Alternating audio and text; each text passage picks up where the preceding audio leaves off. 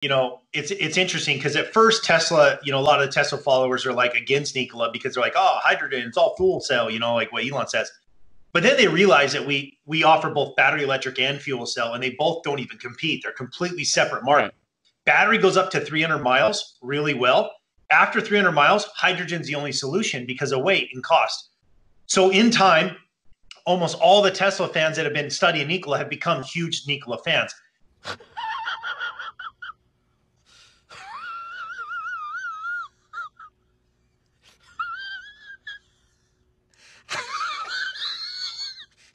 And uh, you know, here's the thing: like, there's a lot of good about what you know what Tesla's done in the past to teach people that uh, that electric vehicles can work.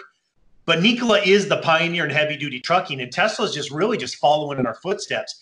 And a lot of them, you know, a lot of them are uh, really believe that Elon is like this this great person that can do anything, and it's when they see someone else being able to actually beat him at what he's doing, they, they hate that. It's so look, we're not getting into the cars. We do we do trucks, we do you know huge semi trucks, all the way down to medium duty trucks for business like the Badger, uh, you know the stuff. We only focus on markets that actually create revenue in in any economy, and so I, it is a huge picture. There's no doubt.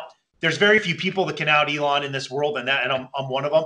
What? I have no problem with him. I think he's a. I think what, know, what he's done is awesome, but there's uh, it's it's kind of hard when uh, you know for his followers to see someone that can actually build something bigger or or uh, um, or more competitive than what he has. So that's that's why we get a lot of that hate sometimes. Um, but let's talk finances now, since you are now going to be judged on your ability to continue to grow. You lost $89 million last year. You're going to lose money this year. When are you going to start to see real revenues?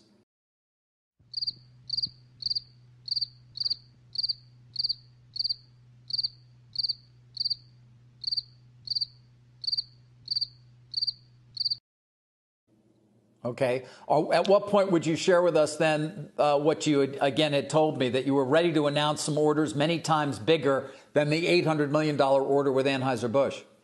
Uh, we're close, and uh, I'll tell you what. As soon as we're ready to to announce it, I'll give you we'll give you a ring so you can uh, we can we can revisit that in person again. Again, but it's it's close. It's really close. We're just trying to deal with a lot of logistics around. While Tesla is higher today, Nikola shares are tumbling after a short seller called the company, quote, an intricate fraud built on dozens of lies. Phil LeBeau joins us now with the uh, details. Some fairly harsh words there, Phil. Oh, harsh words, Tyler. And that quote that you read came from Hindenburg Research.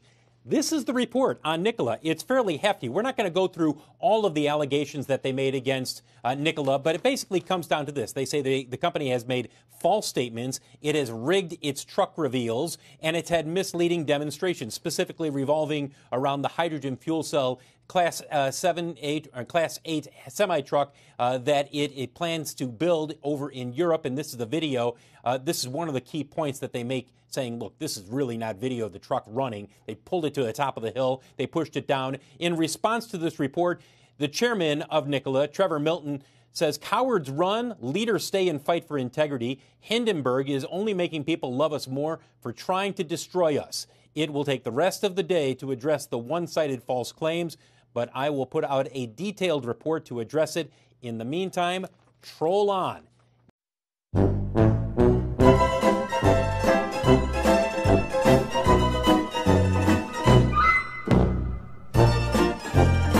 Trevor Milton, the founder of electric truck company Nikola, is voluntarily stepping down as executive chairman and giving up his board seat. This move comes after short seller Hindenburg Research accused Milton of making false statements about Nikola's technology in order to try and grow and secure partnerships with automakers.